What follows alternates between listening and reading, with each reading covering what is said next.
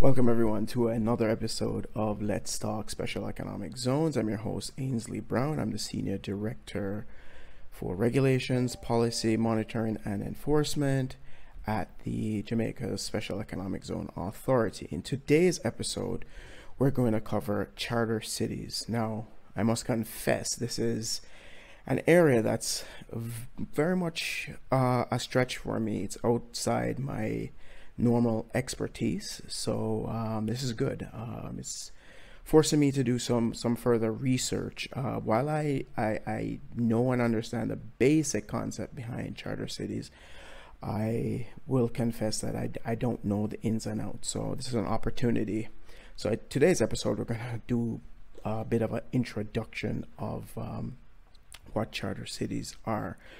Um, the charter cities are most associated with uh, economists called um, Paul Romer, but um, they're actually much older than that.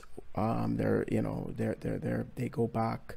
Um, you could say to ancient times, um, even the uh, founder of Pennsylvania in the United States. I think it's Penn. Um, can't remember his first name now, but Penn, um, who the state is named after.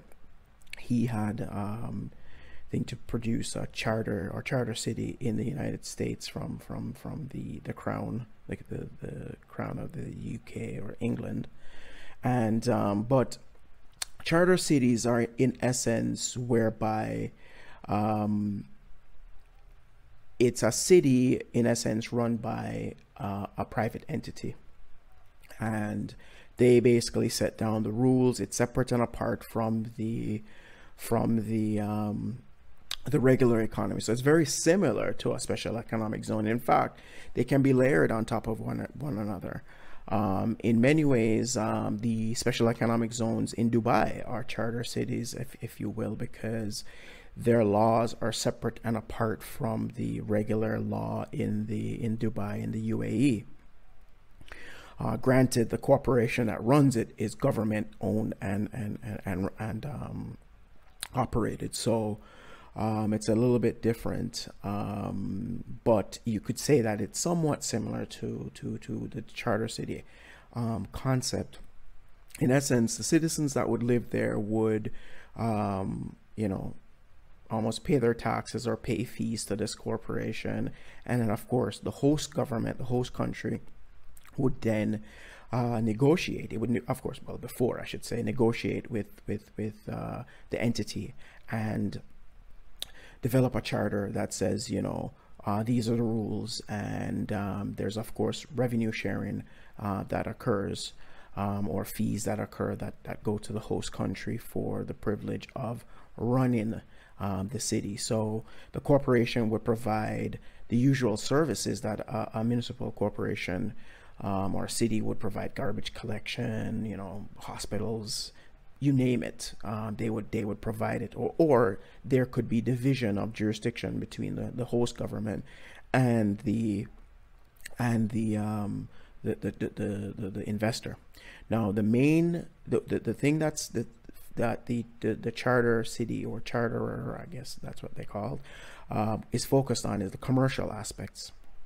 So they would focus on um, the how, how um, contracts are formed, contracts are enforced, and all of this.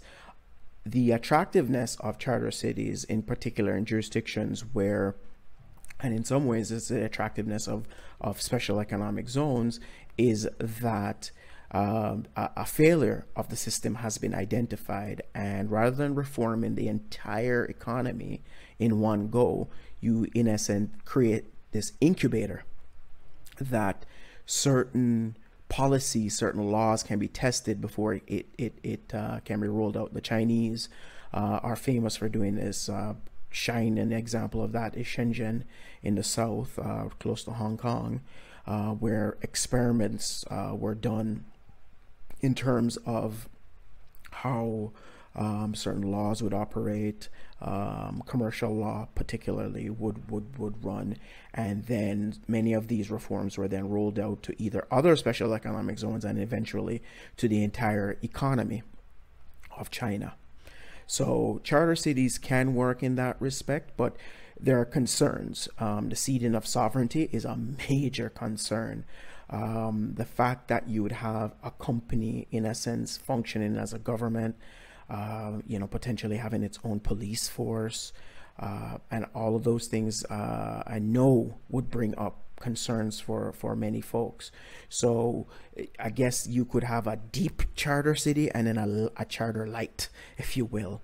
Um, and I guess you could say that uh, a city-wide special economic zone is a charter light, um, if you will, charter city, and then a deep-seated, um, a deep-seated um, or deep dive charter city would be one where uh, the, a company would be the one running the the the um, uh, largely led by potentially led by private investors would be running the, the, the that city uh, and provide all the services that um, sometimes unfortunately the host government cannot uh, provide um, so it's it's it's an idea interesting idea one that I'll be exploring in the next coming coming uh, months or so um, I know, for example, Jamaica, I should have mentioned this, Jamaica did not go down this road. We, we, we, we looked at it, but that's not an area that we wish to go down.